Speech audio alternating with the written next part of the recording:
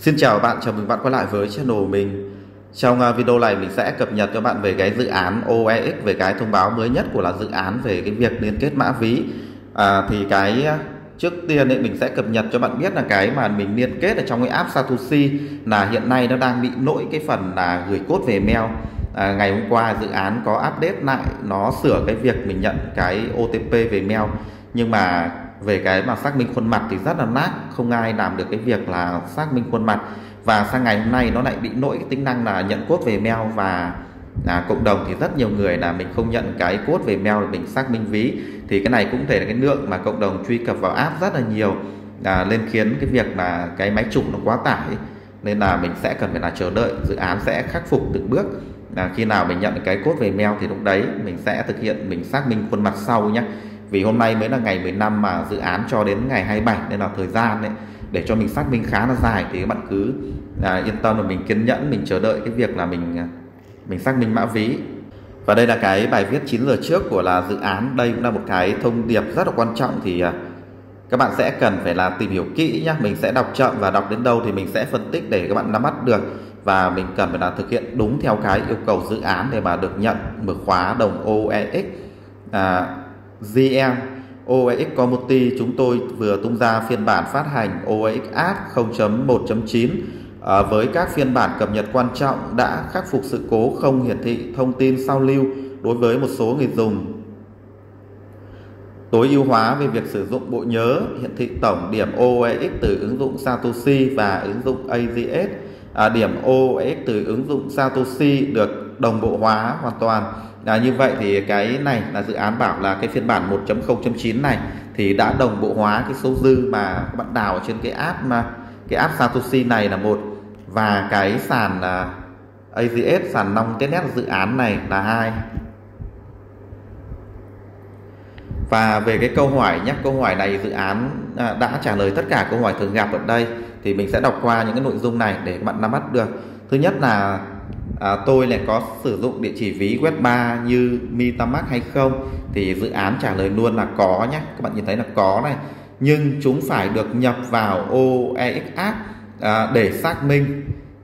Rồi như vậy thì mình có thể dùng được là ví MetaMask nhưng mà mình phải là đăng nhập cái cụm từ ghi nhớ của mình à, cụm từ hạt giống với hai cụm từ để vào cái app OEX app này để mình xác minh mã ví à, luôn tải xuống MetaMask từ Google Play hoặc App Store để tránh các APK không an toàn. Như vậy dự án khuyến cáo mình là nên dùng cái bản chính của là app OX từ là Google Play để mà tránh cái phiên bản app APK này nó không an toàn hoặc là có những cái phiên bản nhái. Thì à, cái bước này mình cũng phân tích luôn để cho bạn biết ấy, là dự án cho phép mình dùng ví MetaMask nhưng mà cái ví MetaMask này phải được là đồng bộ hóa với cái app này để mình xác minh thì xác minh ấy xác minh có nghĩa là mình KYC 5 bước trong này để mà thực hiện cái việc mình xác minh mã ví à, đối với cái nền tảng sàn app OX này thì mình đã có rất nhiều video mình đã giới thiệu cho bạn và hướng dẫn rất là chi tiết cho bạn từ cách mình tạo cái sàn và từ cách mình tham gia testnet và KYC 5 bước ở trong này nếu như bạn nào mình chưa thực hiện thì à, các bạn làm lại những bước đấy để mình à, thực hiện nhé cái này nó là cái tính năng gần như là bắt buộc ấy. nên là bạn nào vậy mình chưa làm thì tốt nhất các bạn nên làm ngay trong lúc này nhé. Vì ờ, đăng ký sàn này nó cũng chỉ khoảng độ là à, một phút là các bạn đã làm xong. Ở bước này thì mình cũng giải thích lại cho bạn là thứ nhất ấy, cái ví MetaMask của mình là cái ví trước đây mình đã tham gia mình chạy testnet của là long testnet của cái nền tảng AGS ấy. À, lên khi mà dự án bắt đầu mà tung ra cái app sàn long testnet này thì mình đã dùng luôn 12 cụm từ ghi nhớ ở trên ví MetaMask này. Mình đăng nhập luôn ở cái mục là đây cái mục là import bên dưới nhé thì mình đã đăng nhập qua tính năng là import này để mình đồng bộ hóa từ cái nền tảng là nòng testnet với cái ví MetaMask của mình. Như vậy nếu như trước đây bạn nào đã làm giống như mình thì nó à, quá là tốt. À, còn nếu như bạn nào mình chưa làm mà các bạn chỉ là đăng ký mỗi sàn nòng testnet này thì các bạn dùng luôn cái ví mà các bạn đã cây YC ở trên này để mình là liên kết vào trong cái app Satoshi rồi như vậy đây mình đã đăng nhập từ trước nên là mình sẽ chọn là sinh in để mình sẽ à, đăng nhập vào bên trong ví. Thì bên trong ví này nó, thứ nhất ấy, nó sẽ có cái mục là mission là cái mục mình cần phải thực hiện 50 bước đây là KYC à, từ là Twitter và mã ví à, và mình à, liên kết cái mail ở trong này để mình đồng bộ hóa cái số lượng mình đào trong app nhé thì cái bước này mình giải thích luôn ở cái mục này ấy, các bạn sẽ hiểu rõ là dự án cho phép mình dùng ví web 3 như là MetaMask nhưng mà cái địa chỉ ví của mình cần phải được đồng bộ hóa vào trong cái app uh, này để mình xác minh ở trong cái nền tảng long testnet dự án. Thì xác minh nó ở cái mục là mission này. Đây là cái mục mission này thì các bạn nhìn thấy là ở đây nó có nó có 5 cái bước yêu cầu mình sẽ xác minh nhé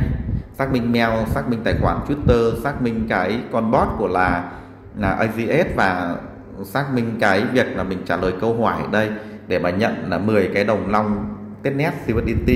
nếu như bạn nào chưa làm thì các bạn à, trong này các bạn nên làm.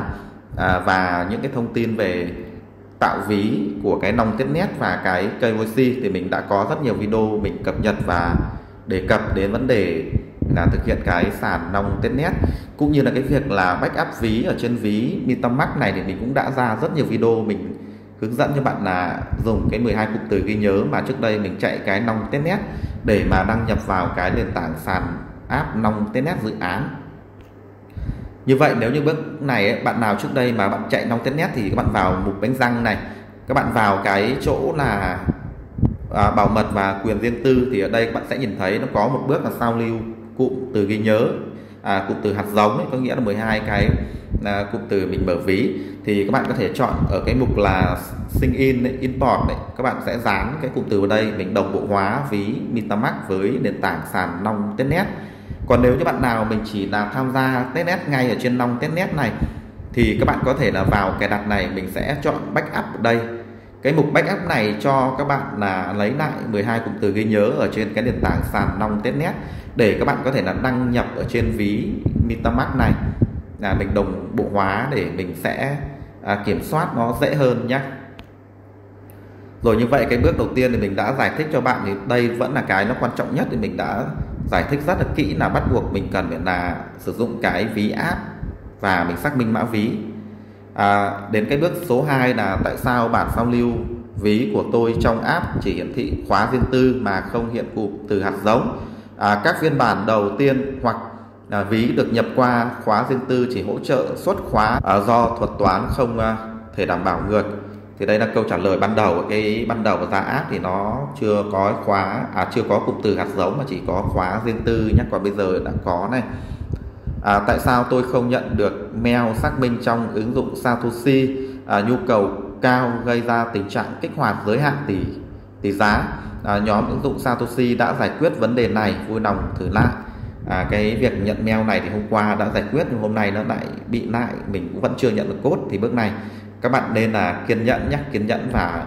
mình chờ nhé là chờ dự án xử lý tiếp. À, cái nữa là tôi chỉ có thể rút token OEX trong ứng dụng OEX à, sau khi liên kết địa chỉ của tôi trong ứng dụng Satoshi thì à, dự án trả lời đây là ban đầu à, việc rút tiền sẽ chỉ được hỗ trợ thông qua ứng dụng OEX các cập nhật trong tương lai sẽ cho phép rút qua các ví web 3 khác. Rồi như vậy thì các bạn sẽ hiểu là bước ban đầu này mình chỉ có thể rút về theo cái là app mà OAX 5 testnet ấy, mà mình đã cây YC ví. Còn sau này thì dự án mới cho mình rút qua những cái ví web 3 khác như là ví web 3 của là OPX hay là một số cái nền tảng ví web 3 khác nhé à, khi nào tôi có thể rút OAX token việc rút tiền sẽ bắt đầu sau khi liên kết địa chỉ trong ứng dụng Satoshi. Hoàn tất dữ liệu được đồng bộ hóa hoàn toàn. À, dự kiến sẽ trùng với danh sách à, cách của chúng tôi. Như vậy thì bước này các bạn sẽ hiểu là dự án thông báo là việc mà mình rút mạng thông báo OEX này thì sẽ bắt đầu sau khi mình đã thực hiện liên kết ứng dụng trong cái app Satoshi. Thì app Satoshi có nghĩa là cái app mình đang đào trước đây mình đào đồng OEX và bây giờ mình đang đào cái đồng là OZ nhé thì dự án có một cái tích đây thông báo là cái số dư mà mình đã thực hiện mình đào trong cái app Satoshi này nó phải là đồng bộ hóa khớp vào cái số dư mà các bạn đang à, KYC mã ví ở trong cái mục à, à, sàn nong testnet này. Khi mình nhập cái mail mà mình đào cái app Satoshi thì nó cũng hiện cái số dư mà mình đào được bao nhiêu ở trên cái app uh, Satoshi ở đây. Thì như vậy trên đây là toàn bộ những cái mà cập nhật mới nhất dự án. Thì đây nó có một cái phiên bản app để cho mình cập nhật lên cái app là không 0.1.9 thì các bạn bấm đây và nó có mục là download à, form à, 0.1.9 nhé. Đây các bạn nhìn đây mới là cái mục là 0.1.9 còn bên trên vẫn là 0.1.8 thì mình sẽ bấm vào đây. Như vậy cái này là APK thì tạm thời lúc này mình cũng chưa vội cập nhật APK đâu. Mình sẽ bấm một cái download form Google này. Thì lúc trước mình vừa cập nhật nhưng mà cái form trên Google này nó vẫn là phiên bản là 0.1.8 nhé là còn nó chưa lên cái phiên bản là 0.1.9 đâu. Còn ở đây dự án thông báo cho mình biết là, là đã có phiên bản là 0.1.9 nhưng mà cũng thể mình sẽ chờ thêm nhé cái mà nó hiện số dư là nó cũng à, nó cũng không quan trọng đâu vì khi mình đã liên kết mail ở đây là dự án sẽ tự động họ đồng bộ hóa cái tài sản mình đào trong app Satoshi à, vào trong cái sàn nong nét dự án có một cái nữa là mình có thể claim cái đồng OEX Mainnet ấy, bằng cách là các bạn bấm vào chỗ là mục là à, hook ở đây ấy, thì các bạn nhìn thấy nó sẽ có cái giao diện như này từ là SWAT, Faucet hay là Team. Thì ở đây sẽ có mục là AGS các bạn bấm đây một cái thì nó hiện một cái kiểu nó quảng cáo về cái sàn nền tảng AGS đấy thì à, cái bước này đấy à, cứ sau 7 tiếng đồng hồ mình vào đây mình sẽ có cái bong bóng hình nó tròn tròn này thì mình bấm vào đây mình sẽ cờ em là 0.1 à, cái đồng là OEX nhé thì đây mình đã cờ em được là 0.22 à, này. Là do mình đã cờ em hai lần ở trên cái mục này. Và như vậy thì à, đây là cái hình ảnh mình chụp lại khi mà mình bấm vào mình cờ em cái đồng là OEX ấy, thì các bạn nhìn thấy sẽ có một cái hình bong bóng như kiểu là cái hình quảng cáo về NFT thì các bạn bấm ngay cái chỗ mà có cái bong bóng nó hiện ở đây nhé cứ sau vài tiếng mình bấm vào đây thì mình sẽ nhận cái đồng OEX là 0.1 đồng OEX và mình đã thực hiện bấm mấy lần thì mình đang nhận, đang có là 0.2 còn về cái việc mà mình liên kết ví vào đây thì trong này là nó ừ, chưa nhận cái OTP về mail đâu, mình đã làm hôm qua mình nhận được nhưng mà đến bước xác minh thì nó đứng khự lại, nó không phản hồi việc là xác minh robot. Còn à, sang ngày hôm nay lại không nhận cái cốt gửi về mail, cũng thể do cái lượng người mà truy cập nó quá tải thì mình cần kiên nhẫn, mình chờ đợi nhé thì à, như vậy trong nội dung thì mình cũng đã cập nhật cho bạn tất cả cái thông báo mới nhất của cái à, sàn OX này. Thì cái quan trọng nhất là bạn sẽ hiểu trong này yêu cầu là mình cập nhật lên phiên bản 1.0.9 và thứ hai nữa thì cái việc mà mình rút được cái mã OX ban đầu thì chỉ có bằng cách là mình thông qua cái việc là dùng cái app OEX để mà xác minh 5 bước ở trong đấy. Nếu như bạn nào mình chưa là xác minh mã ví thì các bạn đăng nhập vào để mình xác minh mã ví. Rồi như vậy thì bạn nào mà mình à, đã dùng cái sàn này ấy, thì các bạn lấy luôn cái mã ví ở trên này để mình sẽ uh, đăng nhập liên kết vào cái app Satoshi nhé còn nếu như bạn nào mà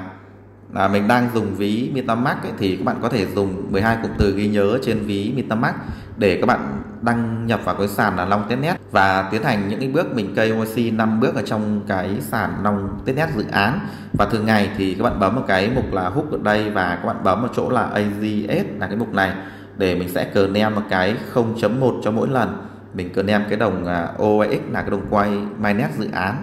Và ở cái mục là access là cái mục mà cho đổi à, cho mình đổi những cái mạng ở đây. À, hiện nay thì mạng co mainnet đã được là thêm vào đây còn cái mạng là OEX mainnet thì dự án chưa mainnet nên là chưa hiện cái màu sáng lên nhé là nhưng mà khi mình rút về thì nó cũng nằm ngay trên cái mạng là cái mạng à, mainnet còn nếu như mà ở trên ví ở trên ví à, ở trên ví này mà bạn nào mình chưa thêm cái mã contract à, OX vào thì ở đây mình cũng là hướng dẫn luôn cho bạn cách thêm. Thì cái contract này các bạn lên cái trang à, OpenX và các bạn tìm đến một cái bài viết cách đây mấy ngày trước của dự án.